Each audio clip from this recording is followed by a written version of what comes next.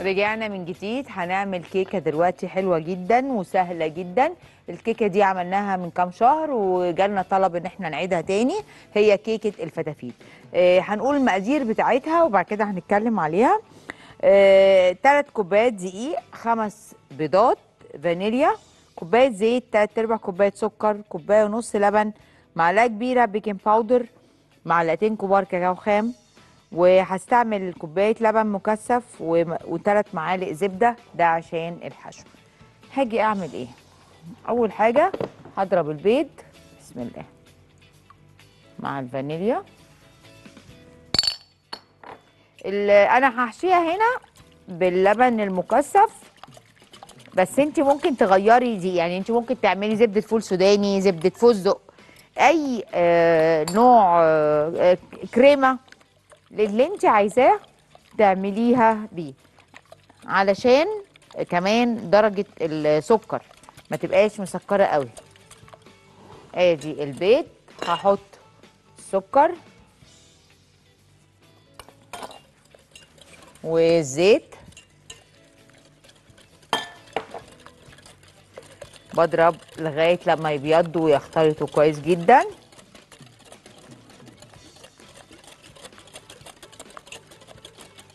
هاجي هحط الدقيق واللبن بالتناوب.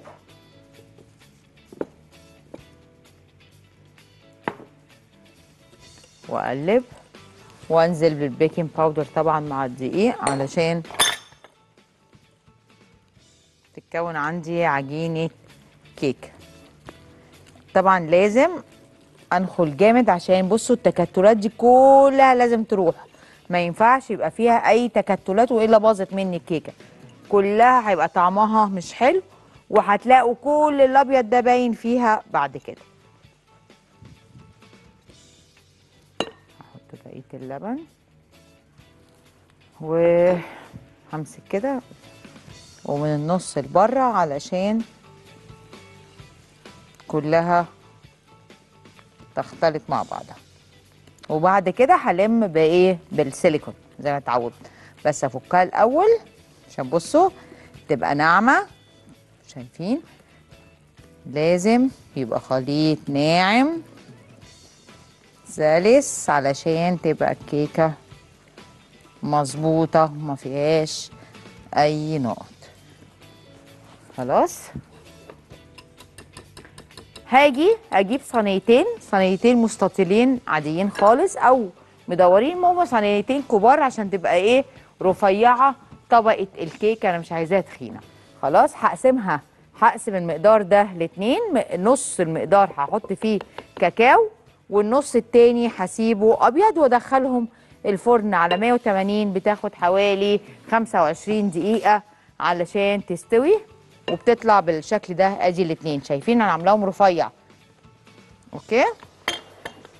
ده مقدار الكيك. خلاص هنحطه في الفرن. قلنا على 180 هاجي واحدة بيضة وواحده فيها شوكولاتة. وهاجي بعد كده بالقطاعة. قطاعة مدورة.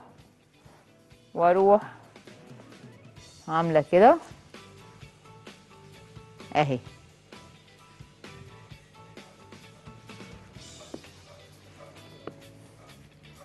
بنفس حجم القطاعة.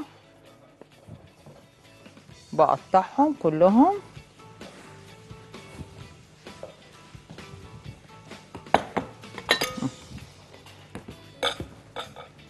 وهاجي. الأبيض ده هقطعه فتافيت كده. اهي شايفين؟ دي الفتفته بتاعت الكيكه دي. وهاجي هنا نفس الكلام.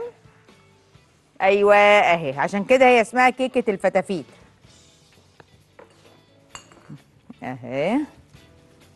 فين البولة الفاضيه دي الفتافيت البيضة. هنعمل الابيض نفس الحكاية برضو. واللي يفضل هفتفتهم. أهي. كده.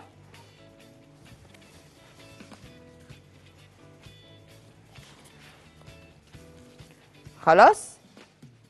هفتفت دول علشان أشتغل بيهم زي كده. عايزة بوله بعد كده أخلط الزبدة بتاعتي مع اللبن المكثف.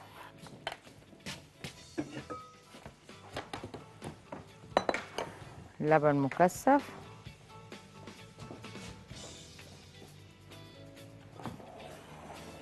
مع استنى أجيب معلقة.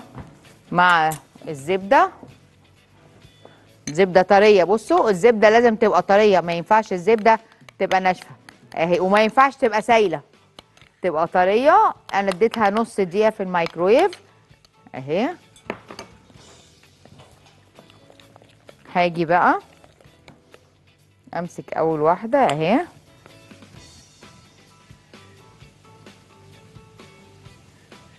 هلزقهم مع بعض. خلاص وبعد كده هدهن من فوق ومن الجوانب. اهي.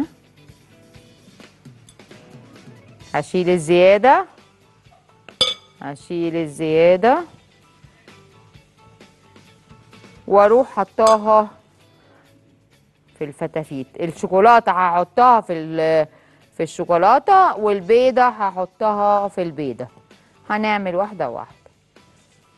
أهي. أهي. بص. أهي. okay. ادي أول واحدة هنيجي نعمل البيضة. بنفس الطريقة. هحط هنا شوية. وأحط دي عليها. وبعد كده أهو. طبعا بشيل الزيادة عشان ما تبقاش طبقة سميكة. بس إيه؟ هشيل كل الزيادة دي أحط هنا فوق. طبقة بسيطة. بشيل الزيادات بس عشان ما يبقاش عندي كتير. وهاجي أحطها في الفتافيت. أهي. وأروح لازقة. أنا ما بحطش من تحت بس من فوق ومن الجوانب.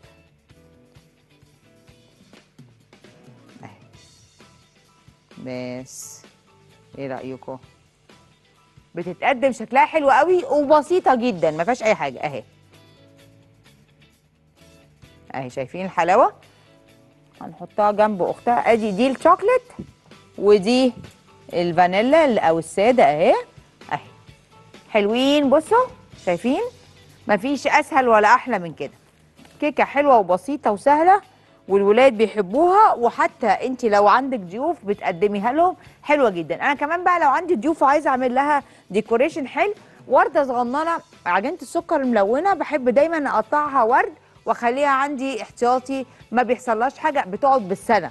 وأروح محطه لها مثلا وردة بينك على عليها وردة حمراء أي حاجة بيبقى شكلها خرافي. عايزة تقدميها كده هي حلوة شغالة زي الفل. هروح بقى دلوقتي الفاصل. وارجع لكم بعد الفاصل تاني استنونا.